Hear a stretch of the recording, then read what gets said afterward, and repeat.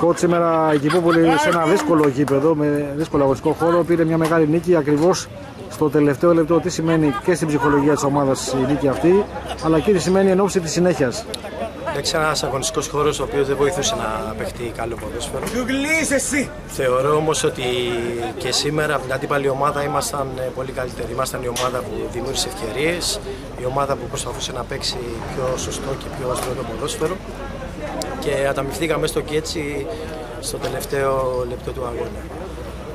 Ε, σίγουρα για την ψυχολογία της ομάδας λέει πάρα πολλά. Το έχει καταφέρει η ομάδα 14-14 είναι κάτι πάρα πολύ δύσκολο.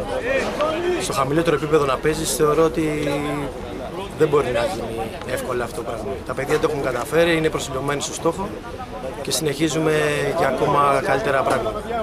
Ε, ένα βήμα πιο κοντά στο στόχο μας που είναι η άνοδο και εύχομαι να πραγματοποιηθεί όσο δυνατό πιο γρήγορα. Ο δεύτερος είναι πολύ μακριά!